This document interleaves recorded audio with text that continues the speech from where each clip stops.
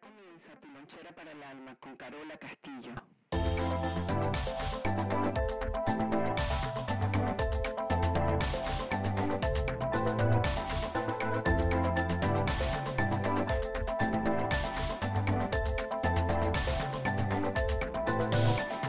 Saludos a todos donde sea que se encuentren y haciendo lo que sea que estén haciendo. Otra lonchera para el alma, con todo, con toda una conciencia, un aprendizaje, una sabiduría y por encima de todo una gran responsabilidad. Este es el trabajo social de Carola Castillo a través de estas loncheras que vamos compartiendo. Me disculpan los comerciales, sé que son aburridísimos, pero algo tenemos que tener en retribución para que, bueno, para que uno sepa en el universo lo que uno está dando. Mm, No es por otro motivo. El día de hoy eh, quiero hablarles de un post que hiciéramos en nuestra cuenta de Instagram, Lonchera para el Alma, donde hablamos de cómo estábamos en el momento de que pasa algo difícil, como estamos por dentro, es con lo único que contamos. Eh, hace poco hemos vivido una experiencia nueva en, en, lo que es la ayuda a un familiar, en específico nuestro padre, que tuvo un, percance eh, de enfermedad, una hemorragia. Eh, y bueno, eh, llegó el momento, ¿no? Llegó el momento de hay que hacer cosas, hay que moverse, hay que organizar, hay que procurar. Pero es solo en esos momentos que vamos entendiendo verdaderamente cuál ha sido el camino que nos hemos trazado. Mientras no surgen esos momentos álgidos, complejos, difíciles, angustiosos, no nos damos cuenta de lo que hemos aprendido. Eh, siempre pienso que la vida nos sorprende cuando somos los sorprendidos, porque estábamos como aletargados, dormidos o no veníamos haciendo nada. Eh, ¿Cómo estábamos por dentro? ¿Cómo estamos? ¿Cómo está nuestro trabajo, nuestras relaciones? Eh, ¿Cómo está nuestra comunidad? Todo eso va a converger en un pequeño y gran embudo con mucha fuerza y es como un checklist, como esa lista de chequeo que tienen los pilotos, ¿no? Gasolina, check. Eh, frenos, check.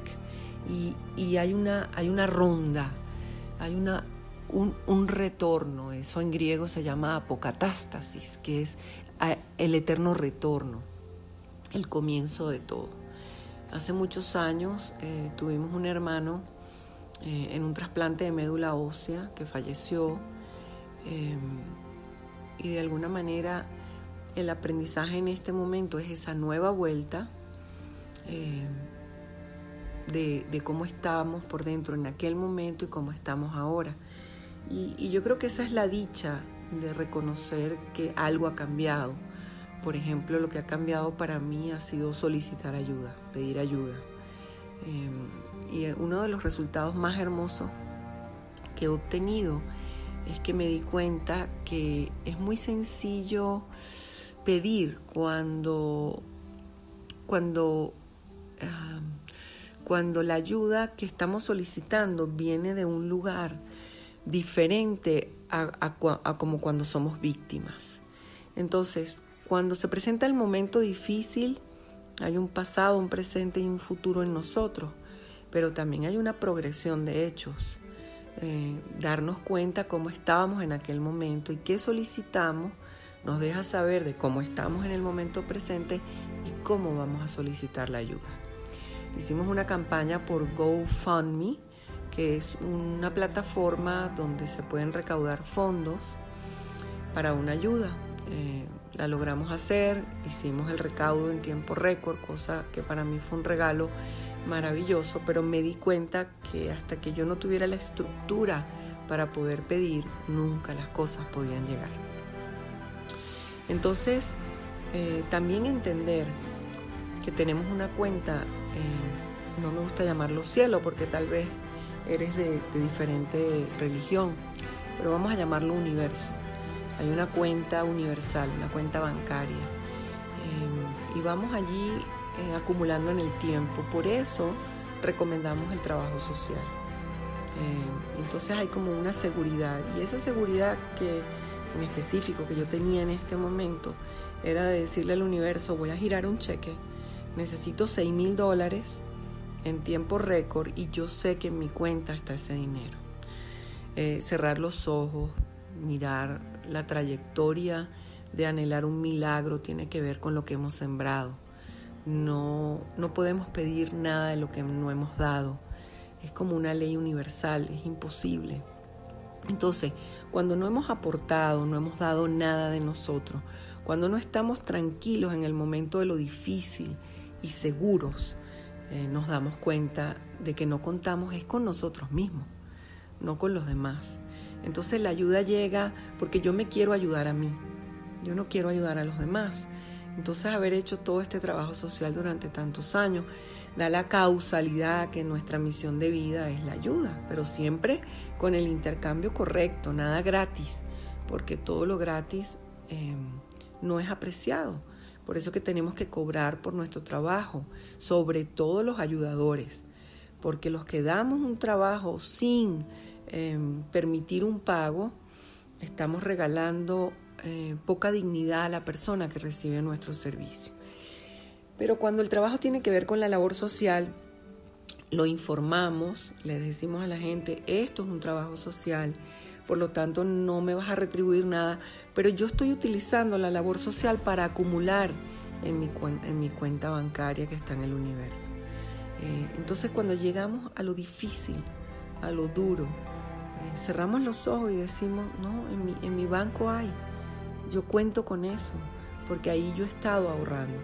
Y para eso hacemos la labor social. Creemos que los estamos ayudando a ellos, pero en verdad nos estamos ayudando a nosotros a acumular esas monedas que significan dinero para que las cosas fluyan mejor, porque para eso es el dinero, el dinero no es para otra cosa.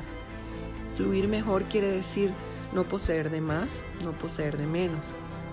Pero por ejemplo, hay gente que me ha dicho, Carola, ¿por qué no pediste más dinero? Eh, si se te otorgó el dinero tan rápido, había gente tan dispuesta a ayudar, ¿por qué no pediste más? Fíjense esto qué bonito eh, si, hubiésemos pedido 15 mil dólares, la enfermedad de mi papá hubiese llegado hasta 15 mil dólares. No sé si me entiendes la imagen. Eh, cuando comenzamos a ver qué había pasado, eh, cómo nos encontrábamos, cuál era el cuadro, todo comenzó a mejorar. Él salió de terapia intensiva más rápido de lo normal. El médico dijo, está mejorando, está progresando muy bien. ¿Por qué habríamos de pedir más de lo que ya se nos está dando? Quiere decir que 6 mil dólares en monedas, también el universo aportó 6 mil dólares en energía. Y eso fueron oraciones, eso fueron buenas vibras, eso fueron la, la cantidad de personas que se sumaron a una comunidad energética. Entonces, primero, mi intención fue acumular esa energía. Y cuando yo comencé a ver todo lo que estaba fluyendo a nivel energético, en salud, en que algunos médicos no cobraron algunas cosas, la cantidad de gente que se abocó a ayudarnos, era tan impresionante que yo dije, este es el momento de girar. No se gira con, con drama, no se gira con victimización, no se gira con lástima, porque ya le estamos diciendo al universo, no me aportes una energía que yo no sé manejar.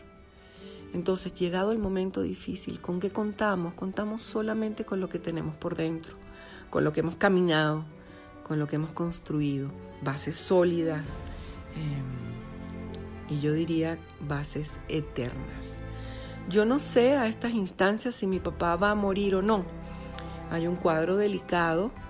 Em, hoy es 2 de agosto del 2019 no sé, este podcast será, no sé, durará, será eterno o no. Pero no es eso lo importante. Lo importante no es la meta o el resultado de que él viva o no viva. Lo importante es que llegado el momento de que eso pase, la pregunta es cómo llegamos hasta este momento, cómo estábamos todos por dentro para que las cosas pasaran como pasó.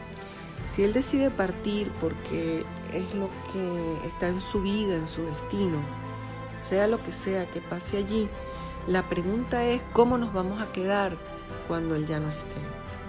Como nos quedemos es como estábamos antes del proceso. Como nos quedemos es exactamente lo que yo voy a refutar, quejar y hacerle creer a él que por no haber sanado, por haberse ido, yo estoy peor que cuando comencé este proceso. ¿Cómo estoy hoy? Eh, ¿Cómo me siento hoy? Eh, ¿Cómo he construido? ¿Cómo sopesar todo eso? No hace la diferencia cuando nuestros seres amados ya no están. Eh, en dado caso, no sé, no sé lo que pueda suceder, es con qué me quedo. Y con lo único que me voy a quedar es con lo que construí hasta el día de hoy, desde atrás hacia adelante.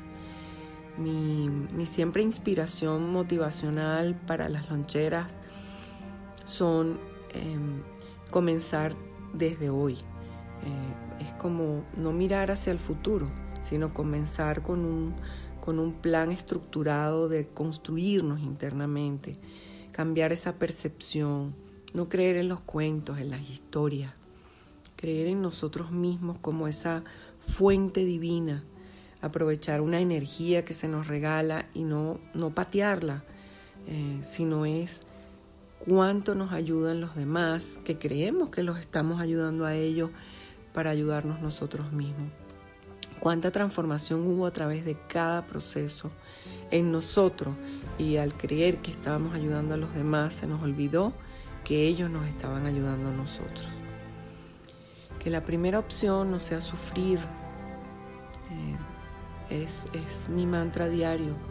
Eh, sufrimiento fue lo que aprendimos en el sistema de creencias, victimización, drama. Pero ¿de qué sirve de que nos aporten millones de dólares si cuando los familiares se van o se acaba el dinero, seguimos siendo los mismos miserables? O con nuestros propios familiares en vida o con, con mucho dinero no logramos hacer nada con lo que tenemos por dentro. Muchísimas gracias por escucharnos. Eh, si este espacio ayuda, lo podríamos pasar. Y ya eso es construir. Eh, porque cuánta gente no estamos en lo mismo, ¿verdad? Y por ahí dijo un señor un día, solo la verdad te hará libre. Y cuando uno reflexiona sobre esa parábola, sobre esa frase, esa oración, que es la verdad. La verdad es lo que nos hace cambiar la percepción de lo que creíamos. Cuando nos dan mariposas en el estómago, cuando nos da ese miedo a hacer cosas diferentes, esa es la primera opción. Y esa es la que no nos va a llevar al sufrimiento. Porque la pasamos bien, porque da miedo, porque da susto y porque ya no somos los mismos. Y nos encontramos con nuestra magia interna que sin saberlo está tocando a una red universal, sin importar quién contesta y quién no contesta, porque si yo sano, tú sana. Muchísimas gracias por estar allí y que la primera opción no sea sufrir. Esta es tu lonchera para el alma, Carola Castillo, y agradecida con mi vida, mi universo, que te salpica y te rebota para yo celebrar el tuyo.